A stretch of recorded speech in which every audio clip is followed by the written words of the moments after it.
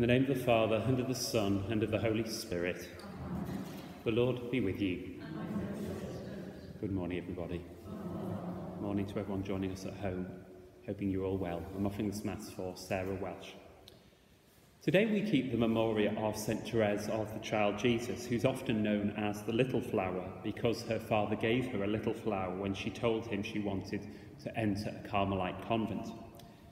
Therese was born at Alençon in France in 1873 and had a difficult childhood, her mother dying when she was only four and being bullied at school. Aged only 15 and despite some opposition, she entered the Carmelite monastery in Lisieux in Normandy, joining two of her older sisters. Her parents are the only married couple so far to have been canonised together by Pope Francis in 2015. Eventually, all five of their female children entered Carmel. Therese excelled in practicing the virtues of humility, simplicity, and a firm trust in God. By her words and example, she taught the novices in the monastery and offered her life for the salvation of souls and for the spreading of the faith in the missions. For this reason, she is the patron saint of foreign missions. She died on the 30th of September 1897 aged only 24. St. Therese is very popular because of her simple and practical approach to the spiritual life. A simple internet search about her reveals her struggles and trials, but also her great humanity, which her makes her very relevant to us today. The basilica ded dedicated to her in Lisieux is the second most popular pilgrimage site in France, after Lourdes. So as we begin our celebration in honour of St. Therese, we pause to call to mind our sins.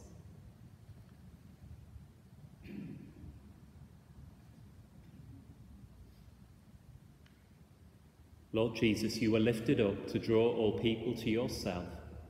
Lord, have mercy. Lord, have mercy. You shouldered the cross to bear our suffering and sinfulness. Christ, have mercy. Christ, have mercy. You open for your people the way from death into life. Lord, have mercy. Lord, have mercy. May Almighty God have mercy on us, forgive us our sins, and bring us to everlasting life. Amen. Let us pray.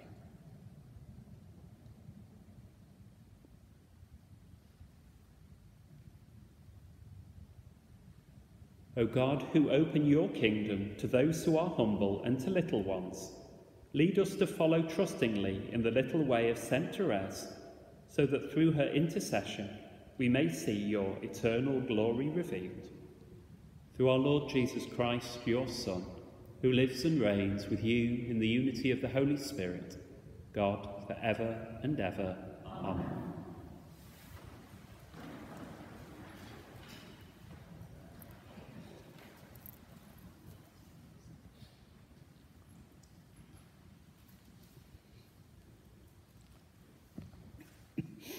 A reading from the book of Baruch.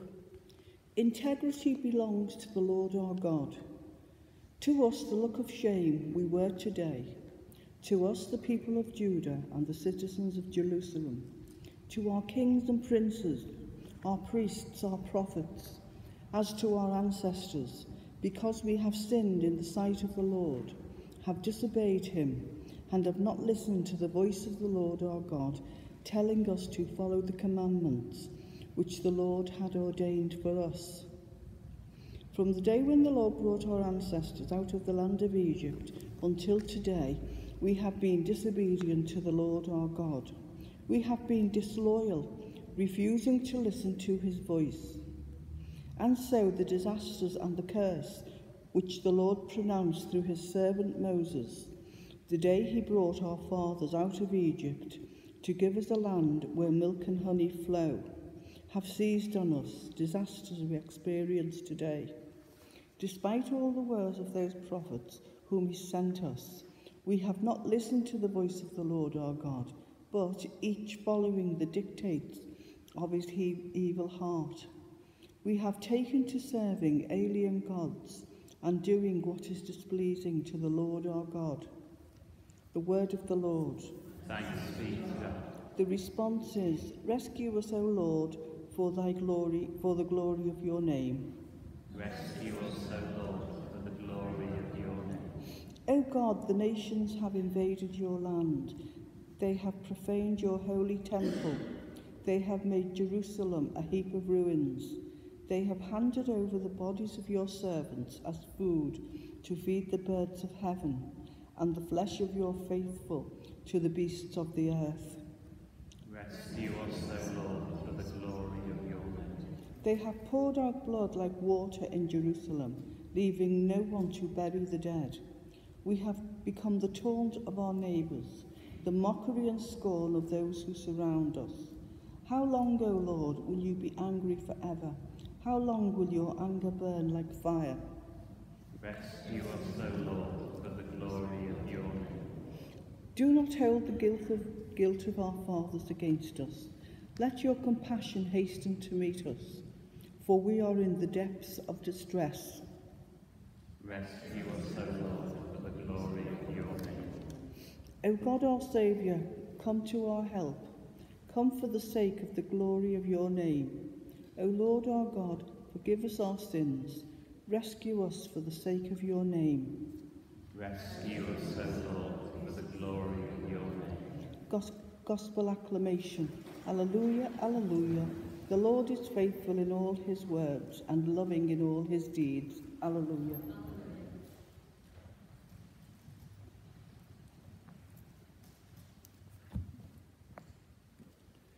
The Lord be with you. A reading from the Holy Gospel according to Luke. Jesus said to his disciples, Alas for you, Chorazin, alas for you, Bethsaida. For if the miracles done in you had been done in Tyre and Sidon, they would have repented long ago, sitting in sackcloth and ashes. And still, it will not go as hard with Tyre and Sidon at the judgment as with you. And as for you, Capernaum, did you want to be exalted high as heaven? You shall be thrown down to hell. Anyone who listens to you listens to me, and anyone who rejects you rejects me, and those who reject me reject the one who sent me. The Gospel of the Lord. Praise to you, Lord Jesus Christ.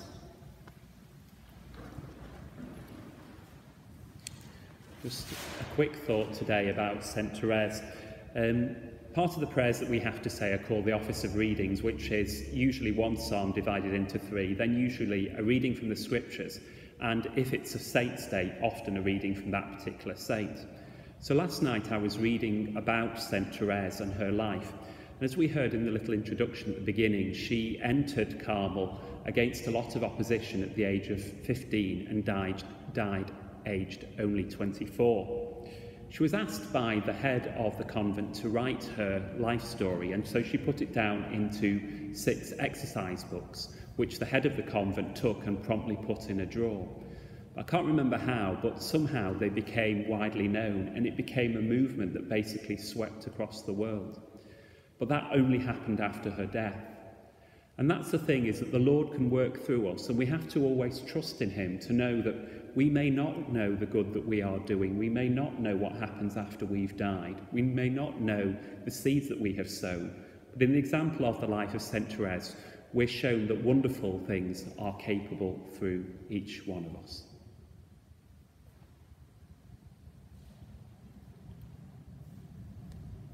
Blessed are you, Lord God of all creation, for through your goodness we have received the bread we offer you, which earth has given and human hands have made. It will become for us the bread of life.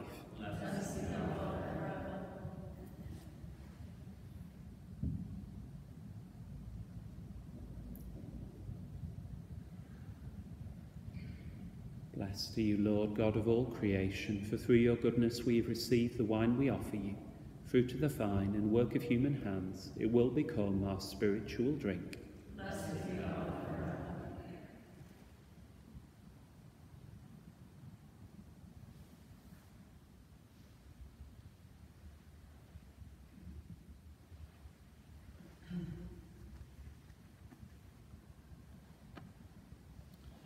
Pray, brothers and sisters, that my sacrifice and yours may be acceptable to God, the Almighty Father.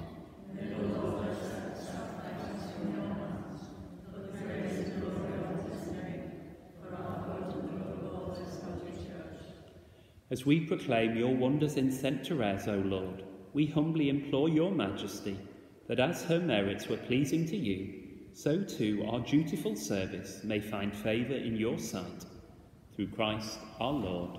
Amen. The Lord be with you. Lift up your hearts. Let us give thanks to the Lord our God. It is truly right and just, our duty and our salvation, always and everywhere, to give you thanks, Lord, Holy Father, Almighty and eternal God. For you are praised in the company of your saints, and in crowning their merits, you crown your own gifts. By their way of life, you offer us an example. By communion with them, you give us companionship. By their intercession, sure support, so that, encouraged by so great a cloud of witnesses, we may run as victors in the race before us and win with them the imperishable crown of glory through Christ our Lord. And so, with the angels and archangels, and with the great multitude of the saints, we sing the hymn of your praise, as without end we acclaim. Holy, holy, holy Lord, God of hosts, heaven and earth are full of your glory. Hosanna in highest. Blessed is he who comes in the name of the Lord. Hosanna in the highest.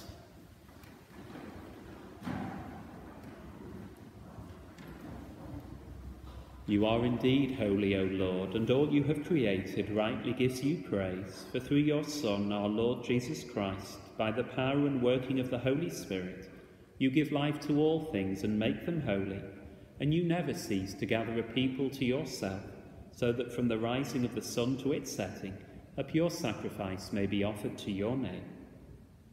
Therefore, O Lord, we humbly implore you, by the same Spirit, graciously make holy these gifts we have brought to you for consecration, that they may become the body and blood of your Son, our Lord Jesus Christ, at whose command we celebrate these mysteries.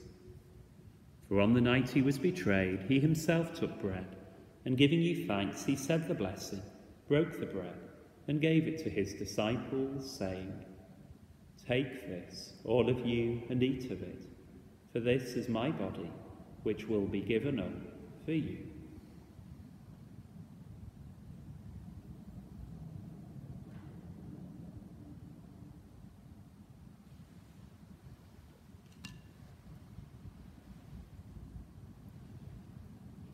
In a similar way, when supper was ended, he took the chalice, and giving you thanks, he said the blessing, and gave the chalice to his disciples, saying, Take this, all of you, and drink from it, for this is the chalice of my blood, the blood of the new and eternal covenant, which will be poured out for you and for many for the forgiveness of sins. Do this in memory of me.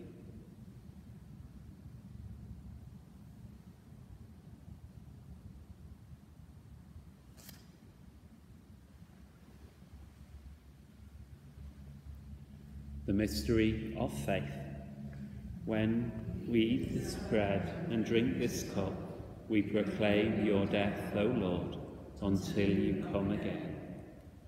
Therefore, O Lord, as we celebrate the memorial of the saving passion of your Son, his wondrous resurrection and ascension into heaven, and as we look forward to his second coming, we offer you in thanksgiving this holy and living sacrifice Look, we pray, upon the oblation of your church, in recognizing the sacrificial victim by whose death you will to reconcile us to yourself.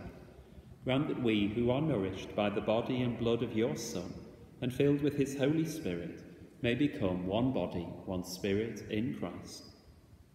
May he make of us an eternal offering to you, so that we may obtain an inheritance with your elect, especially with the most blessed Virgin Mary, Mother of God with blessed Joseph, her spouse, with your blessed apostles and glorious martyrs, with Saint Therese and with all the saints, on whose constant intercession in your presence we rely for unfailing help. May this sacrifice of our reconciliation, we pray, O Lord, advance the peace and salvation of all the world. Be pleased to confirm in faith and charity your pilgrim church on earth, with your servant Francis our Pope and Malcolm our Bishop, the order of bishops, all the clergy, and the entire people you have gained for your own.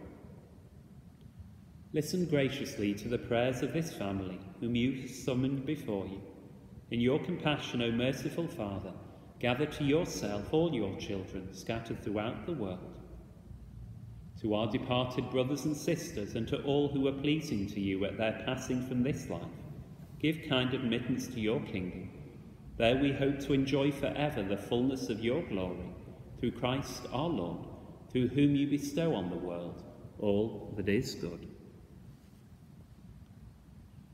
Through him, and with him, and in him, O God, Almighty Father, in the unity of the Holy Spirit, all glory and honour is yours, for ever and ever.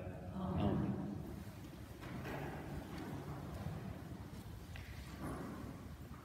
The Saviour's command, and formed by divine teaching, we dare to say, Our Father, who art in heaven, hallowed be thy name.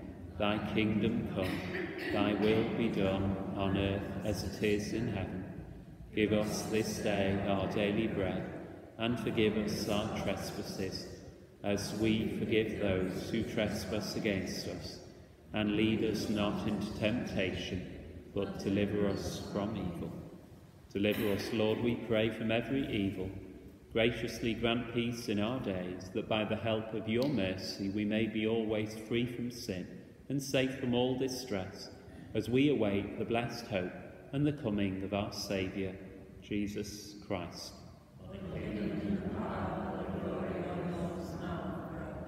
Lord Jesus Christ, who said to your apostles, Peace I leave you, my peace I give you, look not on our sins, but on the faith of your church, and graciously grant her peace and unity in accordance with your will, who live and reign for ever and ever. Amen. The peace of the Lord be with you always. Let us offer one another a sign of peace.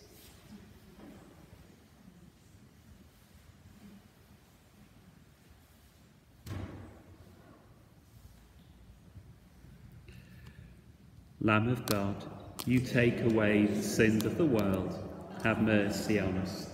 Lamb of God, you take away the sins of the world, have mercy on us.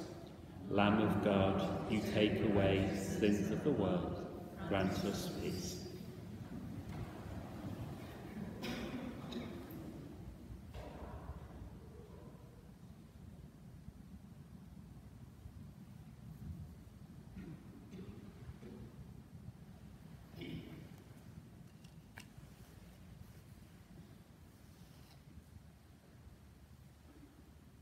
Behold the Lamb of God. Behold him who takes away the sins of the world. Blessed are those called to the supper of the Lamb. Lord, I am not worthy that you should enter under my roof, but only say the word, and my soul shall be healed.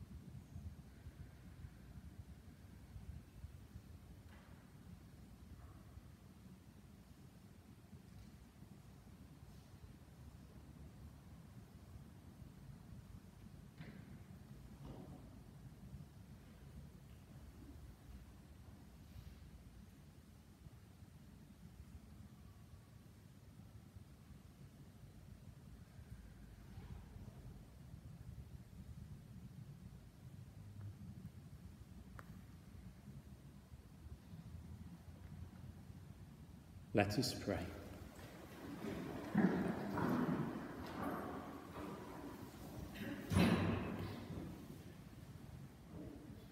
May the sacrament we have received, O Lord, kindle in us the force of that love with which Saint Therese dedicated herself to you and longed to obtain your mercy for all. Through Christ our Lord. Amen. Today we say au revoir and bon voyage to Angela, Elaine, and Pat's sister. You're heading back to Toronto, I believe, on Sunday, but may not be uh, able to join us for Mass on Sunday morning. So have a safe journey home. What's the weather like in Toronto at the moment? For those of you at home couldn't hear, it's pretty much the same as here. So the temperature about the same, but the winters are a lot colder, aren't they? Yes, a lot colder there. Okay. The Lord be with you. May Almighty God bless you, the Father and the Son and the Holy Spirit. Go in peace, glorifying the Lord by your life. Thank you for joining me for Mass this morning, those of you here in church and those of you at home.